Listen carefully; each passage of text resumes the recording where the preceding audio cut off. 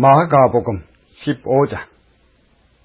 새벽에 대제사장들이 즉시 장로들과 서기관들 곧 온 공회로 더불어 의논하고 예수를 결박하여 끌고 가서 빌라도에게 넘겨주니 빌라도가 묻되 내가 유대인의 왕이냐? 예수께서 대답하여 가라사대 내 말이 옳도다 하시매. 대제사장들이 여러 가지로 고소하는지라 빌라도가 또 물어가라되 아무 대답도 없느냐 저희가 얼마나 많은 것으로 너로 고소하는가 보라 하되 예수께서 다시 아무 말씀도 대답하지 아니하시니 빌라도가 기히 여기더라. 명절을 당하면 백성에 구하는 대로 죄수 하나를 놓아주는 전례가 있더니 밀란을 꾸미고 이 밀란에 살인하고 포박된 자 중에 바라바라 하는 자가 있는지라. 무리가 나아가서 전례대로 하여 주기를 구한데 빌라도가 대답하여 가로되 너희는 내가 유대인의 왕을 너희에게 놓아 주기를 원하느냐 하니 이는 저가 대제사장들의 시기로 예수를 넘겨준 줄 알미르라. 그러나 대제사장들이 무리를 충동하여 도리어 바라바를 놓아 달라 하게 하니 빌라도가 또 대답하여 가로되 그러면 너희가 유대인의 왕이라는 이는 내가 어떻게 하랴? 저희가 다시 소리 지르되 저를 십자가에 못 박게 하소서. 빌라도가 가로되 어쩌미뇨 무슨 악한 일을 하였느냐 하니 더욱 소리 지르되 십자가에 못 박게 하소서 하는지라 빌라도가 무리에게 만족을 주고자 하여 바라바는 놓아주고 예수는 채찍질나고 십자가에 못 박히게 넘겨주니라.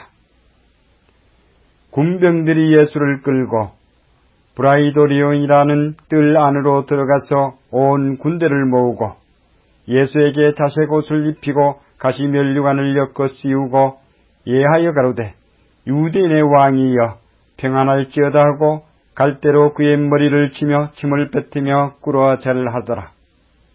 희롱을 다한 후 자색 옷을 벗기고 도로 그의 옷을 입히고 십자가에 못 박으려고 끌고 나가니라.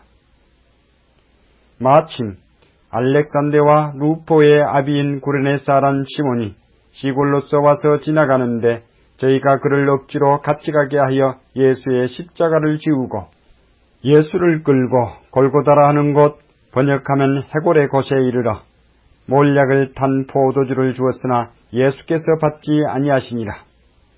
십자가에 못 박고 그 옷을 나눌세 누가 어느 것을 얻을까 하여 제비를 뽑더라. 때가 제3시가 되어 십자가에 못 박으니라. 그 위에 있는 죄패에 유대인의 왕이라 썼고 강도 둘을 예수와 함께 십자가에 못 박으니 하나는 그의 우편에 하나는 좌편에 있더라. 지나가는 자들은 자기 머리를 흔들며 예수를 모욕하여 가로되 아하 성전을 헐고 사흘에 짓는 자여 내가 너를 구원하여 십자가에서 내려오라 하고 그와 같이 대제사장들도 서기관들과 함께 희롱하며 서로 말하되 저가 남은 구원하였으되 자기는 구원할 수 없도다. 이스라엘의 왕 그리스도가 지금 십자가에서 내려와 우리로 보고 믿게 할지어다 하며 함께 십자가에 못 박힌 자들도 예수를 욕하더라. 제6시가 되매 온 땅에 어둠이 임하여 제9시까지 계속하더니 제9시에 예수께서 크게 소리 지르시되 엘리 엘리 라마 사막다니 하시니 이를 번역하면 나의 하나님 나의 하나님 어찌하여 나를 버리셨나이까 하는 뜻이라.